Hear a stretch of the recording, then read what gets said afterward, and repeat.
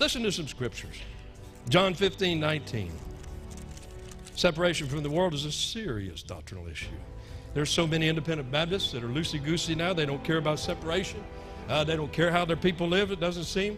And they're like the pastor there in Virginia, and he said, I don't care how my people dress. Well, you're a goofball. John 15, 19, that's what I believe. Might as well say what I believe. If you, you were of the world, the world would love his own. But because you're not of the world, but I've chosen you out of the world, therefore the world hateth you. There's a serious uh, division between us and the world. John 17, 14. John 17, 14, I've given them thy word, and the world hath hated them because they're not of the world, even as I am not of the world. Romans 12, verse 2. We are to not be conformed to this world. Man, that has far reaching implications in every area of our lives. Tell me a preacher's not supposed to preach that? God didn't just say read the Bible, He said preach the Bible. That means get down into where we live because God is concerned about every every life. Compassionately concerned. He doesn't hate us, He loves us. And uh, but preacher is supposed to get down to where people live with the Word of God. That's what preaching is. It's not just reading the Scripture. Galatians 6:14. Separation from the world is a serious doctrinal issue. Galatians 6:14, Paul said, "But God forbid that I should glory save in the cross of our Lord Jesus Christ, by whom the world is crucified unto me, and I unto the world." Ephesians 5 verse 11. Ephesians 5 verse 11. Have no fellowship with the unfruitful works of darkness, but rather reprove them. Now, that one right there, that verse right there, will separate you from every aspect of the pop culture today and the rock and roll and everything pertaining to its ungodly, wicked, proud lifestyle. The whole slew of it, the gamut of it, the, the movies that they're producing, the music they're producing, the philosophy that they live, every part of it, you just read anywhere, any of these people and their foolish philosophy, their godless philosophy, whether it's Eminem or Lady Gaga or, or whoever, and, and you just read uh, what they say, what comes out of their mouths, and the ignorance and the godlessness and the hatred of God there. You can't have, how could you possibly have anything to do with any of that? This is what separated me as a young hippie convert, convert out of all of that stuff.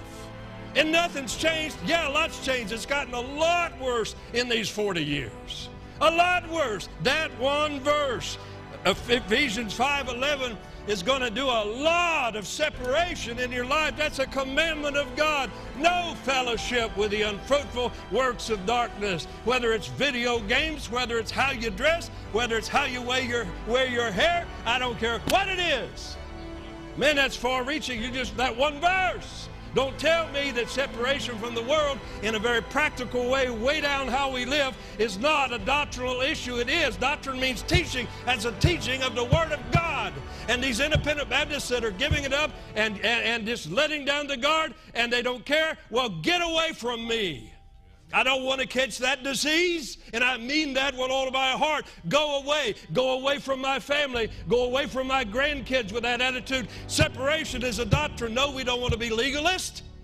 We don't want to be Pharisees. We don't want to just uh, spiffy up the outside and be uh, wretched inside. That's Phariseeism. We don't want to just legislate things. We've talked about that all week privately as pastors. We want to see God's people obey the Word of God passionately from the heart, from a desire for holiness. When you're alone, what do you do? Legislation won't keep you from doing stuff when you're alone. The fear of God will keep you from doing stuff when you're alone. And the fear of God, when you mess around and do the wrong thing, will bring you right back to godly spirituality when you're alone. If you have the fear of God, yeah, that's that. Yeah, that's the foundation of real holiness. But still, it affects how we uh, live externally and all the entertainment and everything. It must. God commends it. It is a doctrine.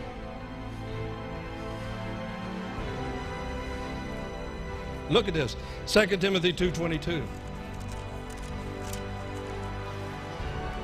2 Timothy 2.22, flee also youthful lust. Flee also youthful lust. But follow righteousness, faith, charity, peace with them that call on the Lord out of a pure heart. Titus 2, 11 and 12.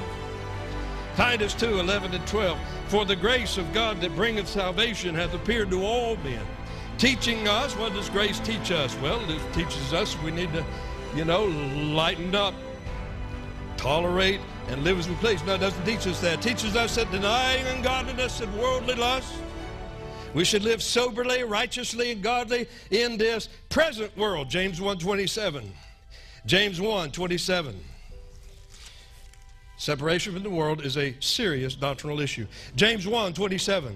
Pure religion and undefiled before God and the Father is this, to visit the fatherless and widows in their affliction and to keep himself unspotted from the world. Spots are little things. Unspotted, what a high standard. What an incredibly high standard of separation from the world. 1 Peter 2, 11 and 12. 1 Peter, oh, sorry, James 4, 4. James 4, 4. Ye adulterers and adulteresses. Know ye not that the friendship of the world is enmity with God? Whosoever therefore will be a friend of the world is the enemy of God. You know what, what that needs to be preached in every independent Baptist church just all the time. Today in this wicked, vile society we live in, we're all plugged in, technology, you can't, you can't get away from things, and God doesn't want us to go up on a mountain somewhere, and you don't have any mountains anyway. And so what do you do? You got to just constantly, constantly